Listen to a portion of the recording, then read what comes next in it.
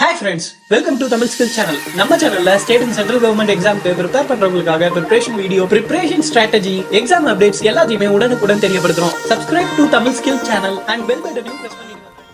Hi guys welcome to Tamil skills channel so நான் பார்க்க போகிற வீடியோ பார்த்தீங்கன்னா ஆர்ஆர்பியை வந்து கம்ப்ளீட்டாக க்ளோஸ் பண்ணிவிட்டு யூபிஎஸ்சி கீழே எக்ஸாம்ஸ் வைக்கிறதா? பரவாயில்ல எல்லாருமே சொல்லிட்டு வராங்க. வைரல் ஆகிட்டு இருக்கு. ஸோ அது என்ன நியூஸ் அது என்ன சொல்ல வராங்க? ஆர்ஆர்பியோட எக்ஸாம்ஸ் எல்லாத்தையுமே யூபிஎஸ்சியில் கீழே கொண்டு வராங்களா? இல்லை என்ன பண்ண போகிறாங்க அப்படின்னு பார்த்தீங்கன்னா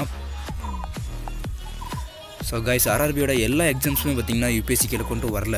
ஓகேங்களா ஸோ இந்த வெப்சைட்லாம் பார்த்தீங்கன்னா தரமான வெப்சைட் சரிங்களா? இந்த Indian Express Times of India economics time இவங்க எல்லாருமே ரொம்பவே அதிகமாக மெருகூட்டி சொல்கிற விஷயங்களில் சொல்லுவாங்க சரிங்களா?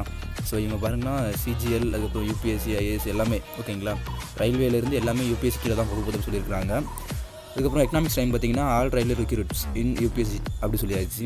ரயில்வே ரெக்யூரிட் எக்ஸாம்ஸ் எல்லாமே அவங்க மற்றபடி சொல்லி முடிச்சிட்டாங்க. பட் உண்மை என்ன அப்படின்னு பார்த்தீங்கன்னா அப்படி இல்லை சரிங்களா?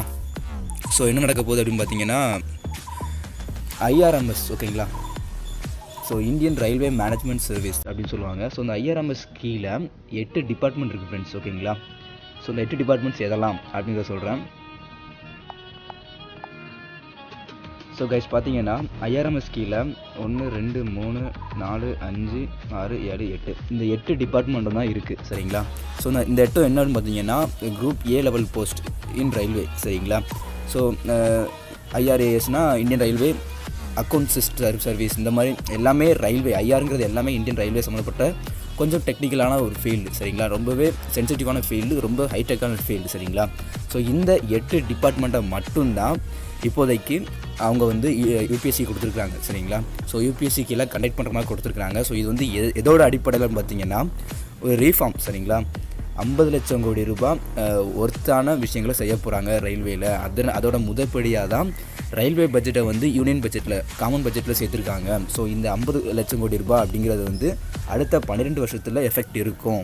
அடுத்த பன்னிரெண்டு வருஷத்தில் சைட் இன்வெஸ்ட் பண்ணுவாங்க அப்படின்னு சொல்லி சொல்லியிருக்காங்க ஸோ இந்த எட்டு டிபார்ட்மெண்ட்டை மட்டும்தான் இப்போதைக்கு அவங்க யூபிஎஸ்சியில் ஆட் பண்ணியிருக்காங்க ஸோ ரெண்டாயிரத்தி இருபதில் இந்த எட்டு டிபார்ட்மெண்ட் மட்டும் தான் ஃப்ரெண்ட்ஸ் மாற்றம் வரும் சரிங்களா?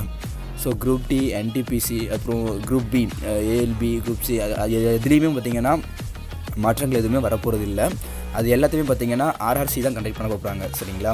ஆர்ஆர்சி தான் சொல்லியிருக்கிறாங்க so RRB RRC any one இவங்க கண்டக்ட் பண்ண போகிறாங்க ஸோ இவங்ககிட்ட இருந்து ப்ரைவேட்டுக்கு போகுதா அப்படிங்கிறதா சரியாக தெரில சரிங்களா? ஸோ இப்போதைக்கு யூபிஎஸ்சி போகிறது பார்த்திங்கன்னா அந்த ஐடி டிபார்ட்மெண்ட் மட்டும்தான். ஸோ இது வந்து ஒன்லி இன்ஜினியரிங் ஃபீல்டில் உள்ளவங்க மட்டும்தான். அதுவும் ஹைடெக்கானது மட்டும்தான் சரிங்களா? அதாவது குரூப் ஏ போஸ்ட்னு சொல்லுவாங்க. ரயில்வேல உள்ள குரூப் ஏ போஸ்ட் எல்லாமே யூபிஎஸ்சிக்கு போகுது எட்டு டிபார்ட்மெண்ட் ஓகேங்களா ஸோ இந்த ஒரு நியூஸ் தான். இது வந்து எல்லாருமே பார்த்தீங்கன்னா நியூஸில் போடுறதும் சரி அப்புறம் எல்லாமே வந்து ஃபேக்காக எல்லா ரயில்வே ஜாப் அப்படி சொல்லிட்டு இருக்காங்க பட் அது அப்படி இல்லை.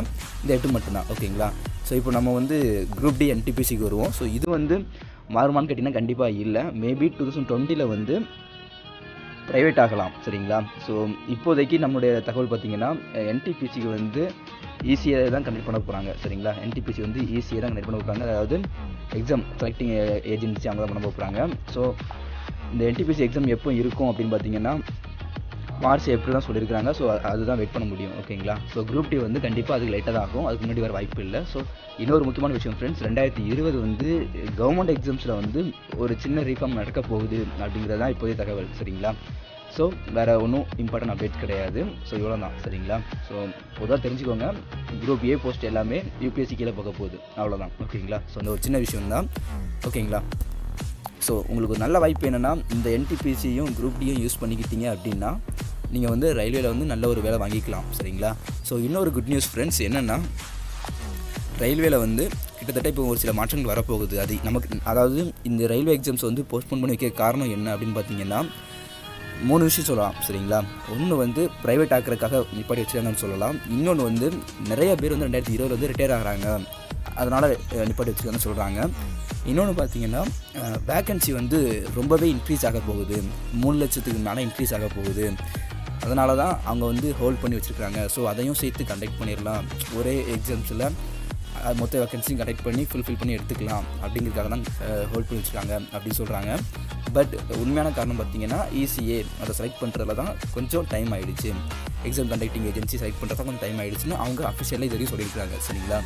ஸோ எதான் எதெல்லாம் உண்மையான அப்டேட்ஸ் சொல்ல முடியலை. ஆனால் இதே மாதிரி தான் ஏஎல்பிலையும் நடந்தது. ஏஎல்பியில் பார்த்தீங்கன்னா ஃபஸ்ட் ஸ்டேஜ் எழுதி முடிச்சதுக்கு அப்புறம் இன்க்ரீஸ் பண்ணிவிட்டு செகண்ட் ஸ்டேஜுக்கு கொண்டு போகிற பர்சன்டேஜ் வந்து ஒன் இஸ்டு டென் அப்படிங்கிறதுல வந்து அறுபதாயிரம் பேர் சரிங்களா? ஸோ பதினஞ்சாயிரம் பேர் சம்திங் எடுக்கிற இடத்துல அறுபதாயிரம் பேர் சம்திங் எடுத்துருந்தாங்கன்னு நினைக்கிறேன். ஸோ அந்தளவுக்கு இன்க்ரீஸ் பண்ணியிருந்தாங்க. ஸோ அதே மாதிரி என்டிபிசிலையும் குரூப் டிலையும் கூட இப்போவே இன்க்ரீஸ் பண்ணினாலுமே புதுசாக யாரும் அப்ளை பண்ணி உள்ளே வர முடியாது. ஸோ ஏற்கனவே பழசு அப்ளை பண்ணவங்க தான் இந்த புது வேகன்சியுமே ஃபுல்ஃபில் பண்ண வேண்டியது இருக்கும். ஸோ அதனால் நல்லா பெட்டராக பெர்ஃபார்ம் பண்ணியிருந்தால் கண்டிப்பாக ஜாப் கிடைக்கும் சரிங்களா? ஓகே ஃப்ரெண்ட்ஸ் தேங்க்ஸ் ஃபார் வாட்சிங் Tamil skills channel thank you so இந்த வீடியோ பிடிச்சிருந்தா லைக் பண்ணுங்கள் ஷேர் பண்ணுங்கள் கமெண்ட் பண்ணுங்கள் தேங்க்ஸ் ஃபார் வாட்சிங்